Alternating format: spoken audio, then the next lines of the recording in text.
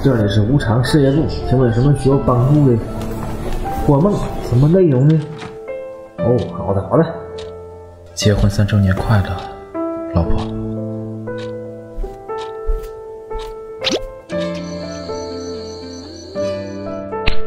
领域展开，托梦，提取十年前的记忆，载入他们相爱第一天的场景，载入人物。